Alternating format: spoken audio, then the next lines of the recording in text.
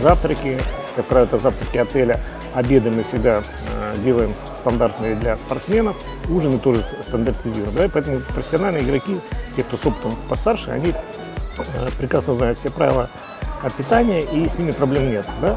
Молодые ребята, они, конечно, когда попадают в такие условия, э, ну, необычные для себя, а, глаза заведущие, руки загребущие. И тут главная проблема объяснить им, рассказать, что не все подряд, что им нравится, нужно есть, а нужно есть то, что а, нужно профессиональным спортсменам. Game day today, I uh, started with a salad with uh, some vegetables on top, with some uh, some eggs, some avocados on there too, um, and then you know I. Uh, I always try to get like a pasta or some kind of carb in me with some vegetables and protein. Like есть определенные подходы стандартизированные, да, подготовки э, игрока до тренировки, какие напитки мы готовим до тренировки, какие напитки готовим во время игры или тренировки и после.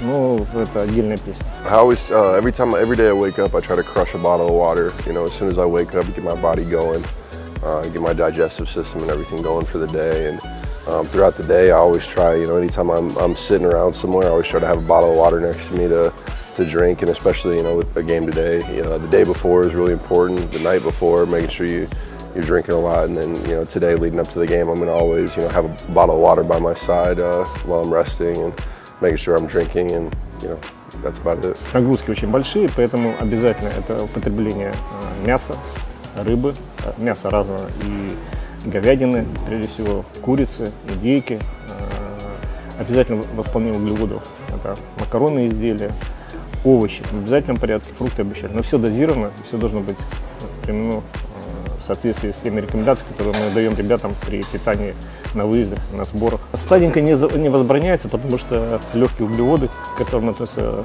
сладкие продукты, они восполняют быстро э, энергетические потери, но не передать, потому что избыток сладкого всегда приводит к тому, что а, появляется э, излишки жира в организме, что недопустимо для профессионалов. Chipotle is a, uh, a Mexican uh, food chain in, uh, in the United States.